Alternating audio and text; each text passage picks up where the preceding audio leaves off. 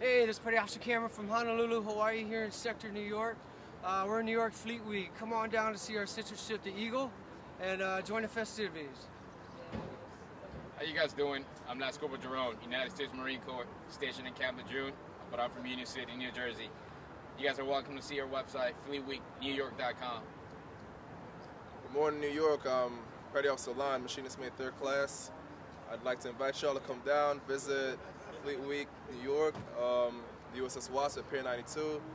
Um, come on through, have a good time.